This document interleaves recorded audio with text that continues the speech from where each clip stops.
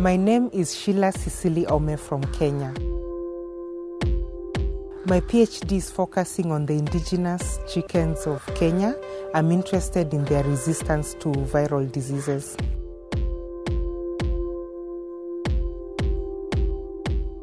I came to do my MSc and PhD research at the BecA-ILRI Hub because I believe it's a center of its kind in Eastern and Central Africa where you have cutting edge technology so one doesn't need to go abroad but can stay in Africa and still be able to compete with the rest of the world.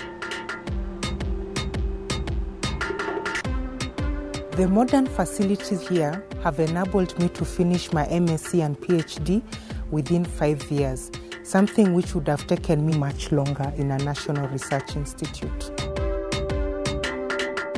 I'm Ilona Conradi and I'm from South Africa. My work is for my PhD. Um, the project that I'm working on is a collaboration between the University of Pretoria, ILRI, University of Edinburgh and University of Nottingham. We chose this facility to bring some samples because they are experts in tick-borne diseases.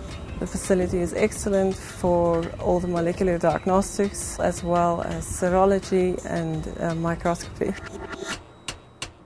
My name is Vincent Njunge. I come from Kenya. I'm working on groundnuts and pigeon peas from Malawi because they need drought tolerant crops.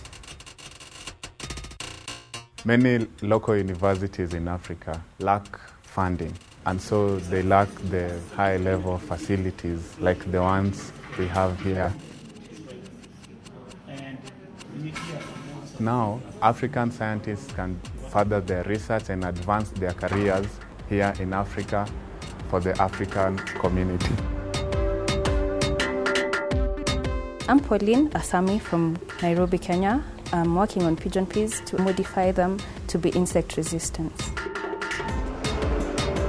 Once I'm through with my master's, which is what I am doing, I intend to, if possible, do a PhD. Otherwise, take my information and my knowledge to the farmers on the ground so what I'm doing can have an impact. My name is Selma Hassan. I come from Sudan. I've come here to do my PhD in the epidemiology of sheep theileriosis, an important disease of sheep in northern Sudan. Most of the sheep belong to poor farmers. Outbreaks occur annually, and many of the sheep die. I work in the Central Veterinary Lab Sudan. We don't have the equipment available here at the hub, and also we don't have the expertise. Here, people have been working for many years on a, a disease close to mine, uh, which is Theileria parva, the, the causative agent of uh, East Coast fever. And uh, so they have a lot of information. My name is Sarah Osama. I come from Kenya. I'm working on introgressing striga resistance to sorghum. The striga which attacks sorghum in Kenya is the same striga which attacks maize. So finding striga resistance for crops in Kenya is a very important objective. I'd like to finish my masters, then I come back for my PhD, and after that, I'd really like to help young scientists to grow to where I am right now. My name is Nibigira Theogene. I'm from Rwanda. I work with sorghum. In Rwanda, there are small farmers who grow sorghum. So if sorghum is destroyed by striga, those small farmers can suffer. My name is Nadia Muhammad Osman. I'm from Sudan. I'm working on animal trypanosomosis. I started my work in Sudan, uh, but uh, I have an advanced work, so I, I need an advanced lab to do it. These new facilities will help and improve the diagnosis of the disease. And when you are able to diagnose correctly, you can control in a good way.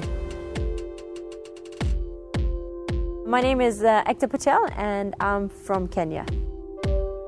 I got my bachelor's degree in the US, my PhD in South Africa, and I came back to Kenya to work on vaccines. And I'm pursuing my postdoctoral scientist position right now. So here I have access to small and large animal units, farms, a world-class tick unit, Uh, we have a biosafety level 3 lab that allows us to test for pathogens.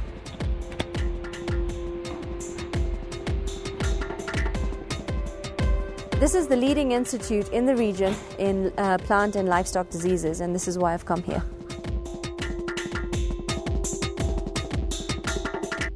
I'm Amy Jennings and I come from the UK. So I graduated from vet school in the UK and now I've been here for just over a year doing my PhD in Kenya. I'm working on an infectious disease project with indigenous cattle. There's a certain number of facilities in the UK that are doing work on these diseases, but the facilities here are so good that it really makes sense to be working here.